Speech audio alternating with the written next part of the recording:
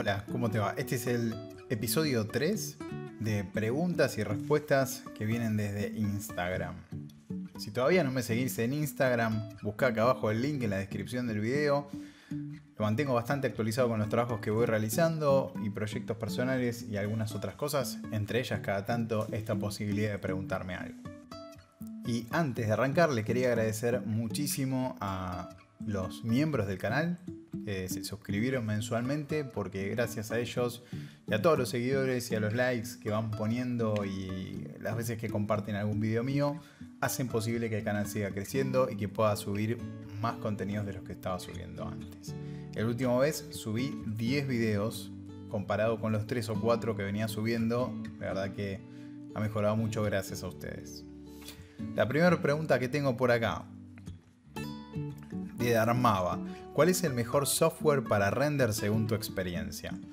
Bueno, la verdad es que me parece que no hay un mejor software para renderizado. Depende un poco de las circunstancias y a veces en muchos casos del presupuesto.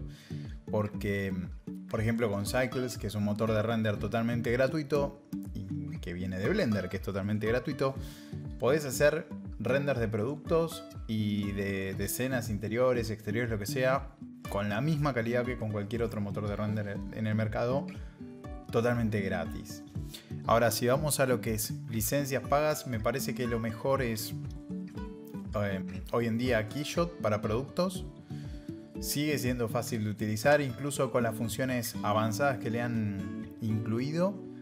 Maverick, que salió a competir en el mercado, que funciona exclusivamente mediante GPU. Esos dos para productos van genial.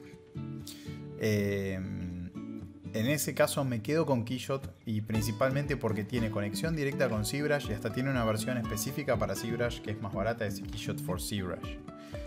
Ahora, para escenas de interiores o exteriores, um, cuestiones de Archbees, por ejemplo, el Corona anda muy bien.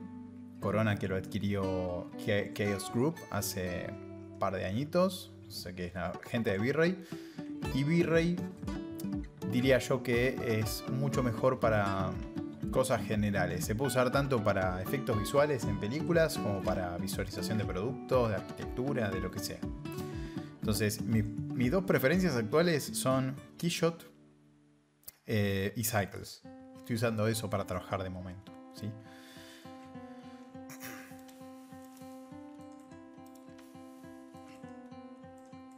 ¿Qué setup tengo? Bueno, ahí te dejo pasar la lista.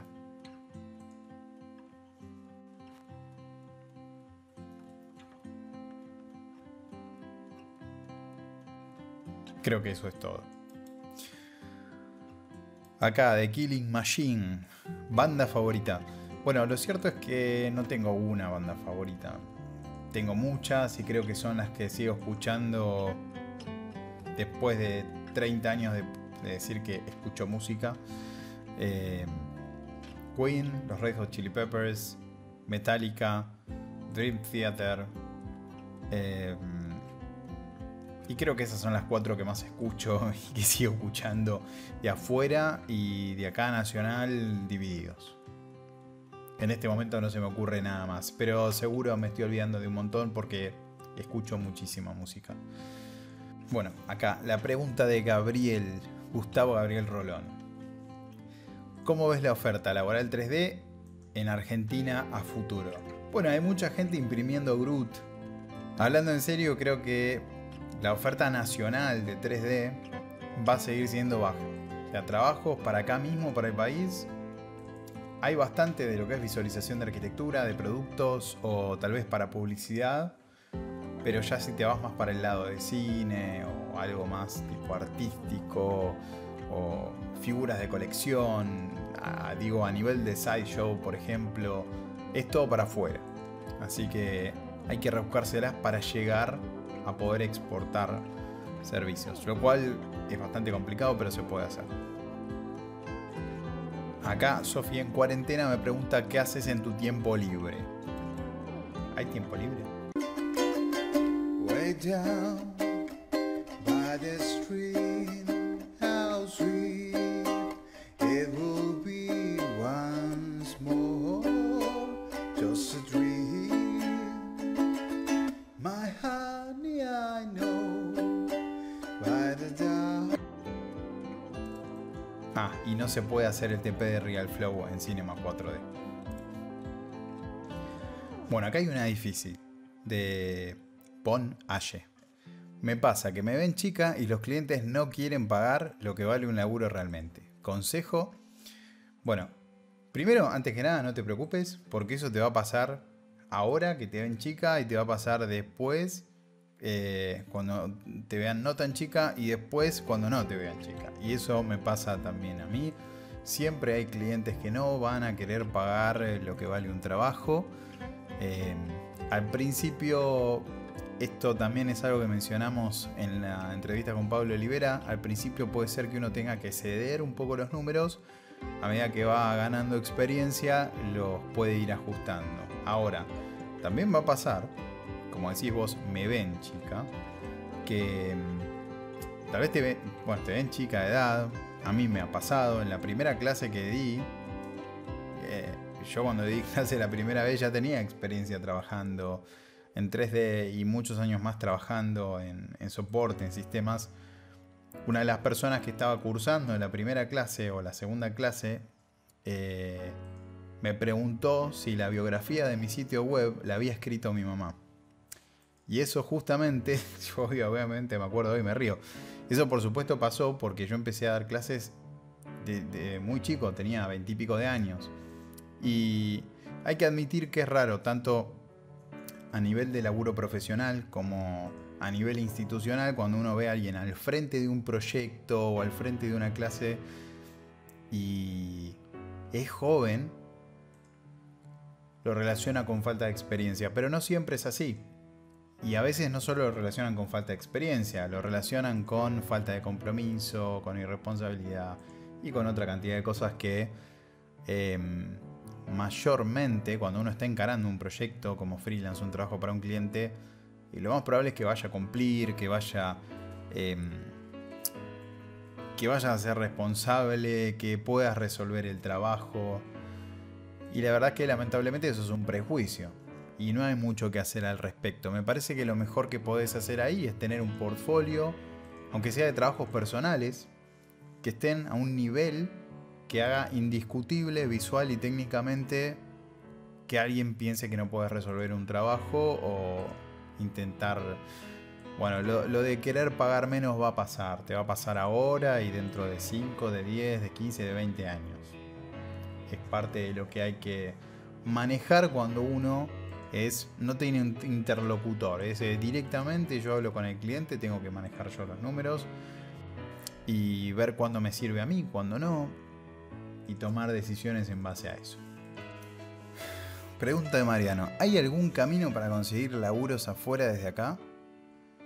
Y después entre paréntesis dice que entrar la guita iría en otro video solo. Sí, bueno, es cierto.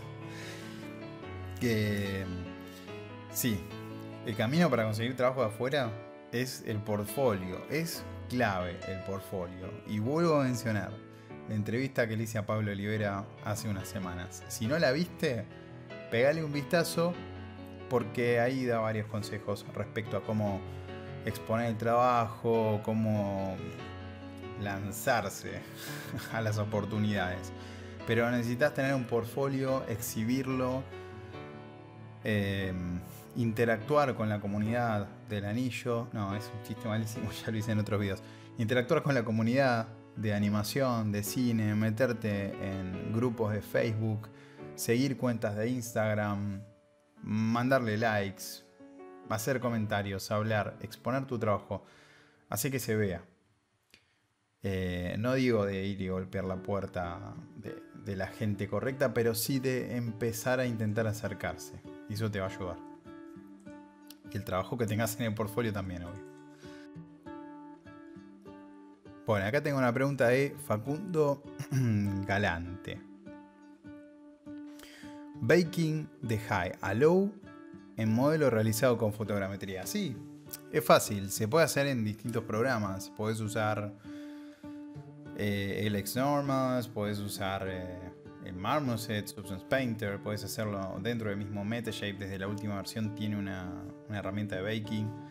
Em, necesitas el High Poly y el Low Polygon UV. Mira, te voy a mostrar en Substance Painter un ejemplo. Mira, acá tengo. Dentro de Metashape tengo un modelo de 4 millones de caras. Me puedo acercar ahí. Está en modo wireframe, así que se puede ver la densidad del mesh. Eh, y tengo una versión decimada de 20.000 vértices. En vez de 4 millones, 20.000 nada más. Y lo que estoy haciendo, lo que voy a hacer ahora es abrir el Substance Painter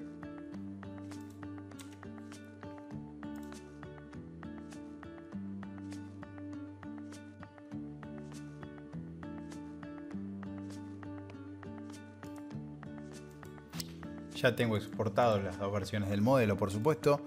En Substance Painter voy a crear un proyecto nuevo. Para hacer este baking voy a usar eh, la resolución del documento en 4000 directamente. Voy hasta um, OpenGL y cargo por acá mi low poly, que es eh, la versión de 20.000 polígonos o vértices. Ok. Y acá tengo low poly, ¿sí? Cero detalles. Después entro al Baker de Substance Painter con Ctrl Shift B larga Voy a deshabilitar ID y thickness, no lo necesito para esto.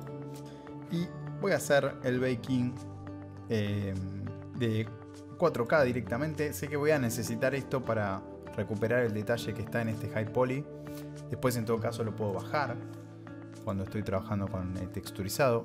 Bueno, y acá en el Baker voy a cargar el high poly. Le voy a dar Bake, Selected Textures.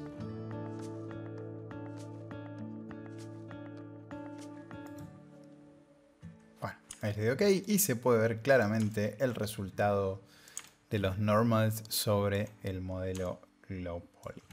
Espero que te haya servido. Pregunta de Juan Pablo Fiorilo. ¿Hiciste algún trabajo freelance para el exterior? ¿Cómo cobraste? ¿Hay que estar registrado? No se lee ahí, pero dicen la FIP, ARBA, etc. Sí, por supuesto, hice trabajo freelance para el exterior. Tenés que estar inscrito en la FIP, ser por lo menos monotributista, tenés que pagar ingresos brutos, en Arbas es provincia, en Egipcia es capital. Em, asesorate con una contadora, con un contador. Em, pero sí, básicamente así. ¿Cómo lo cobré? PayPal, Nubi y a la cuenta bancaria. Y se hace una factura E, que es una factura de exportación de servicios. Pero asesorate con un profesional. Hay un montón de opciones, un montón de posibilidades. Te dejo acá pegale un vistazo a esta chica en este canal que sabe bastante del tema y da unos consejos bastante interesantes.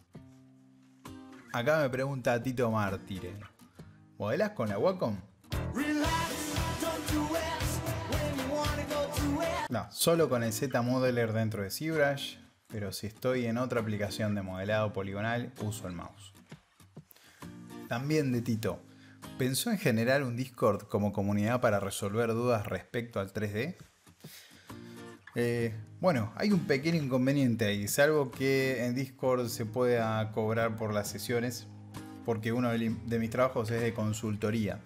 Y mm, yo participé y de hecho participo a veces contestando algunas dudas en foros de 3D, en grupos más que nada de Facebook, eh, pero son cosas esporádicas. Mayormente cuando me contratan para hacer una consultoría y es para, para resolver dudas respecto a algún proyecto o algo por el estilo, ese es un tipo de trabajo que se cobra y se cobra muy bien. Así que si es una comunidad eh, e, en donde se resuelven dudas entre todos, en realidad ya hay un montón de 3D para eso. Eh, y de hecho hay muchísimas y con muchísimos usuarios. Hay un grupo muy muy particular que está muy bueno y es muy muy completo que se llama Render 3D. Ahí no se habla solo de render, es un grupo que arrancó un colega que es profesor de la FAU y de un montón de otros lugares. Eh, y el grupo arrancó como algo chiquito para los trabajos de, de la FACU, él me contaba, pero que se hizo súper, súper y súper grande y se empezó a meter mucha gente de Latinoamérica y ahora es un grupo con miles y miles de usuarios eh, y hay una consultoría bastante importante de forma libre. Acá tengo una pregunta de Nacho Cristina. ¿Hace un video haciendo algún trabajo en el Paint 3D? La verdad es que nunca lo abrí el Paint 3D. Vi videos en YouTube para reírme un rato. Em, pero bueno, vamos a ver de qué se trata. No sé ni dónde está. voy a buscar. Eh, bueno, lo muevo. Y lo voy a tener que investigar acá. No lo voy a editar. Voy a ver con qué me encuentro.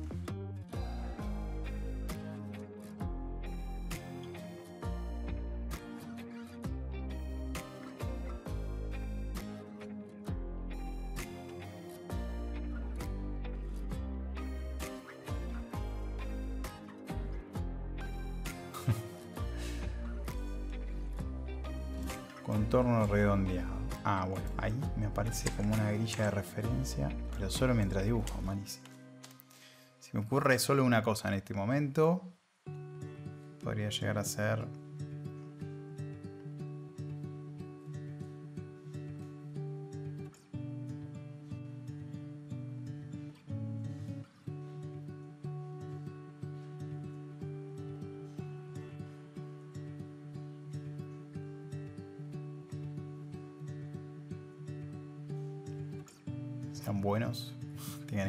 primera vez que uso esto. Bueno, bastante bien. Podría por ahí ensanchar. No, veo opciones para esculpir ni nada por el estilo, así que... Me puede servir como base mesh. ¿Se podrá exportar esto? Guardar como modelo 3D. FBX y el OBJ, ¿dónde está? Formato importante. Bueno.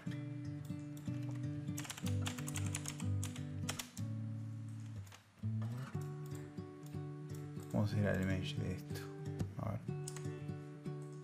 ZBrush.